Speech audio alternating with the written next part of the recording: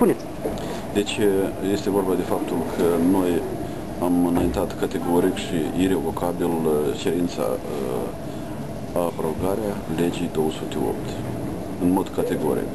Noi nu mai vrem să ducem tratative nenumărate, fiindcă deja au avut loc circa 130 de acțiuni de protest în Republica Moldova și ele vor continua și deoarece nici administrația publică centrală, nici Parlamentul, nici președinția nu vor să ne înțeleagă, atunci noi mergem și noi la niște cerințe categorice.